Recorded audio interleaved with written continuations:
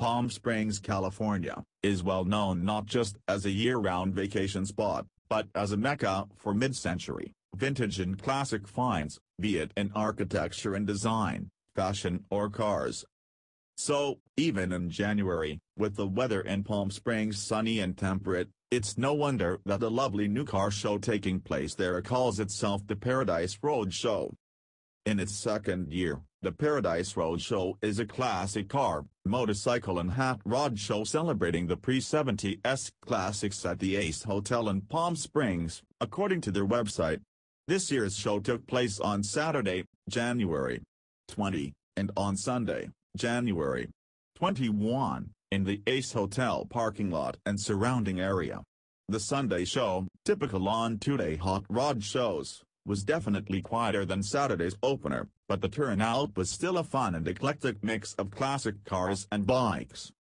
Vendors on Sunday included the team from Sunday Slacker, the high-quality classic car and custom scene magazine, as well as a lineup of vintage clothing dealers with top-notch finds, perfect to wear to a car show in Palm Springs.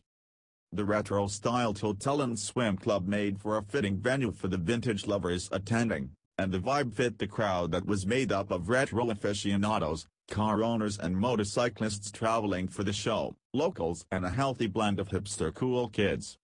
Some of my favorite eye-catching rides at the show included a fabulous black 1959 Chevy Impala from Nevada, with full Continental kit and pristine condition red interior.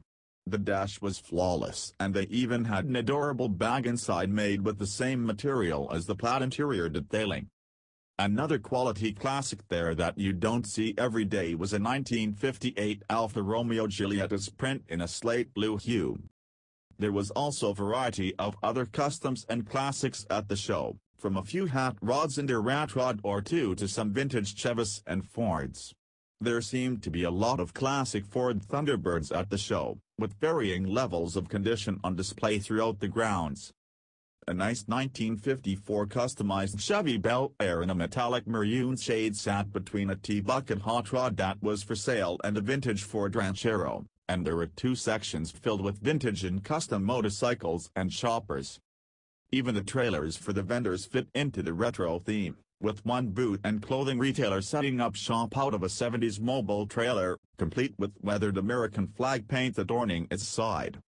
The Weekender event definitely feels like one of those shows that is laid back and fun in its early years, but could easily become a big event as word spreads of its amiable and friendly turnout, vintage treasures and cool locale. To learn more about the show and to keep up with dates for the 2019 event, Visit their official website at www.paradiseroadshow.com or find them on Instagram at www.instagram.com web link. To submit your custom or classic ride to be considered for a feature in a future Heidi's Customs and Classics article, send information and images to Heidi at Heidi's Customs and Classics at gmail.com. Heidi Van Horn is an author artist and media personality with more than 25 years experience in the entertainment industry and the car culture community. She has written about cars for the Houston Chronicle and Hearst Media since 2008 and is currently working on her first book about women in the automotive and motorcycle world and their rides.